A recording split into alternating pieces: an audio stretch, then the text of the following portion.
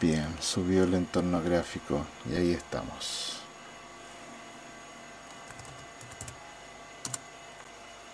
Lo primero que tenemos que hacer es irnos al menú de Genome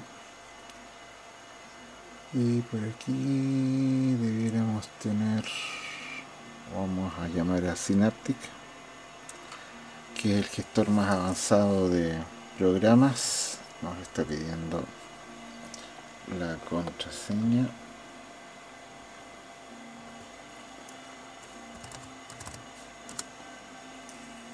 Y em, cuando hicimos la instalación dejamos habilitado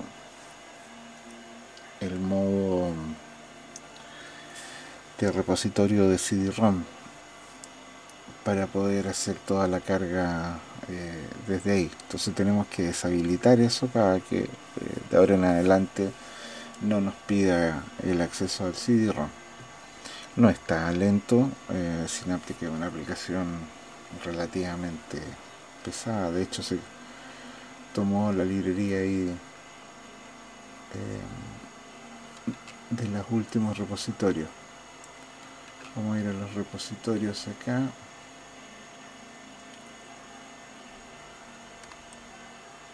Tenemos definido el servidor para Chile y en la opción otro software aquí vemos eh, que tenemos habilitado los CD-ROM y lo deshabilitamos de inmediatamente. De aquí vamos a ir quitando esto porque la acción va a ejecutarse sobre los repositorios vía internet cosa que vamos a ver de inmediato eh, que también funciona. Una cosa que puede ser importante son activar los eh, repositorios de los socios y los repositorios de restringido. Y aquí estamos proporcionados por desarrolladores de software externo ok. Vamos a cerrar ahora. Yo cargué en el repositorio de Google y nos vamos a ir ahora al dispositivo de red.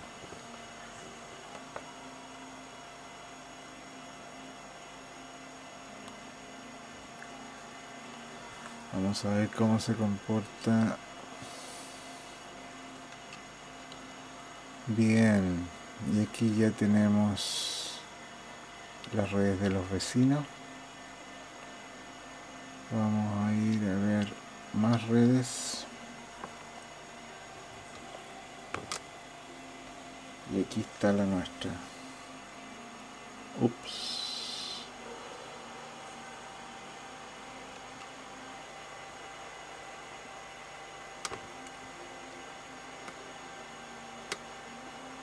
Aquí ya negocio con el router.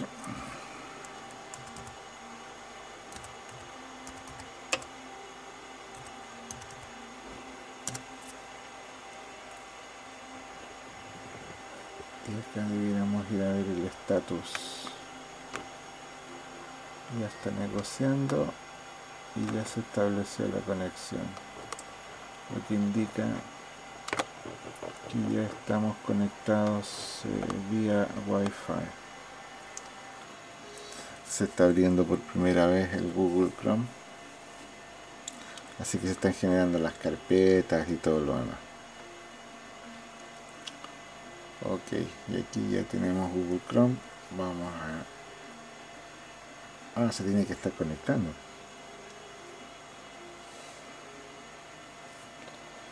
Ahí estamos navegando. Vamos a, a preguntar alguna cosa.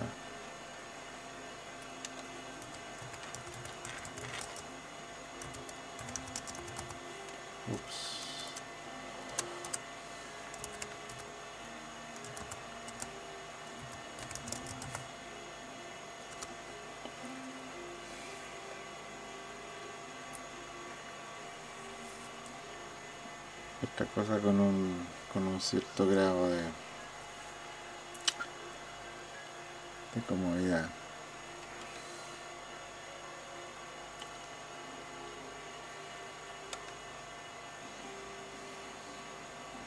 La resolución de pantalla es bastante buena en todo caso para ser una tarjeta tan tan tan restringida. Ahí tenemos a Facebook. Es lento el acceso, pero después que navega y entra el despliegue de pantalla no, no es tan lento.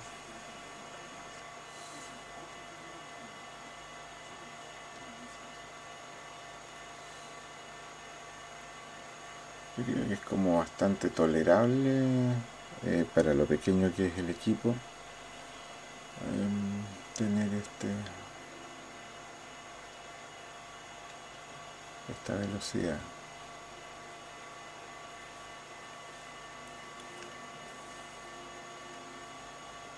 Eh, ¿qué otra cosa más? vamos a ir una página.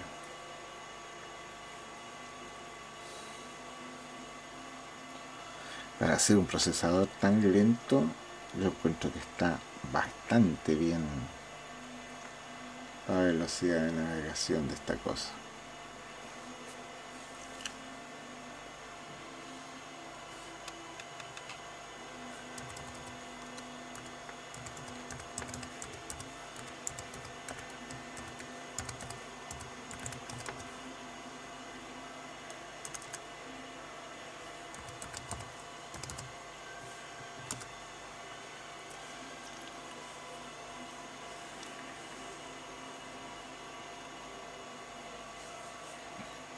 Sí, bastante decente. Esto fue internet. Vamos a ir a ver las aplicaciones. Aquí vamos a cargar el LibreOffice. Es bastante pesada esta aplicación para lo que estamos pidiendo.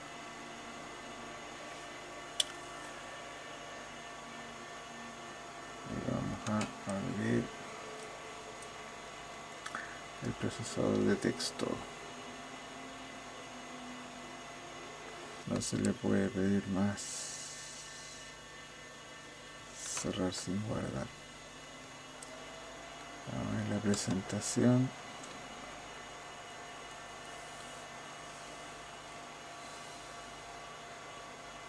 subió bastante rápido. Por lo general el procesador de texto es como más, más pesado. Se pensaría que la hoja de cálculo es más pesada, pero es bastante liviana. Eh, vamos a abrir...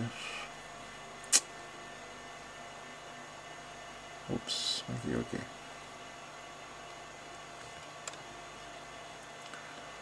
Vamos a abrir el fórmula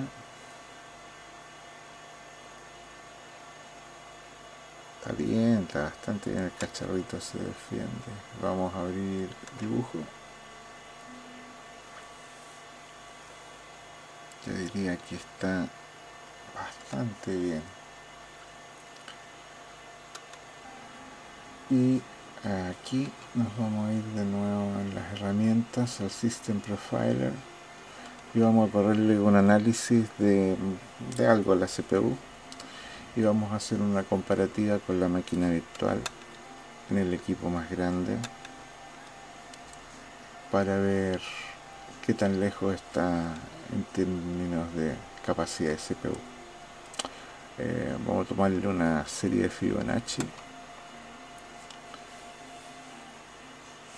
y vamos a ver el resultado aquí. Bien, no fue tan lento. A ver qué nos está reportando. Aquí, mientras menor es el tiempo, mejor. Por ejemplo, un PowerPC de 740 280, que es la Apple más o menos Mac de esa época a esta máquina, tomó 58 segundos este mismo análisis. Un Celeron moderno de 1.5 GB le toma 8 segundos y a esta máquina le tomó 13,8.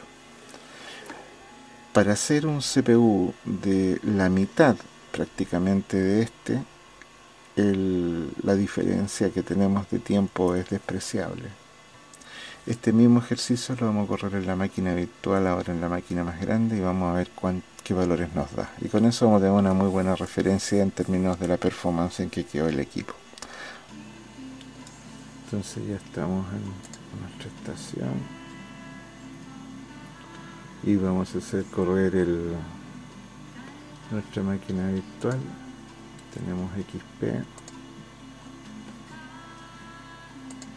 y vamos a subir el, el Ubuntu virtual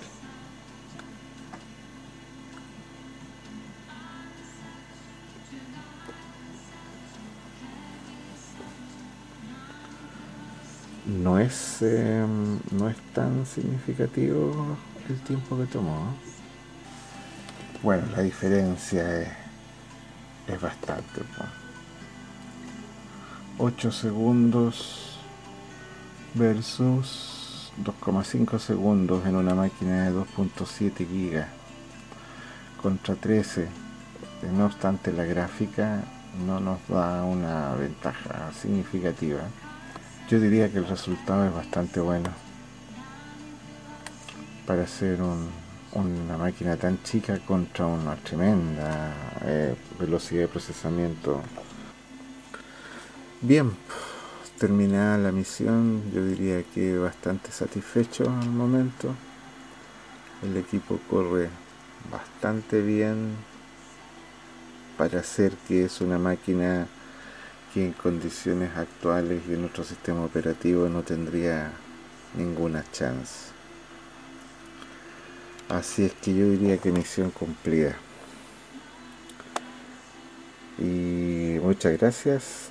Será hasta una próxima.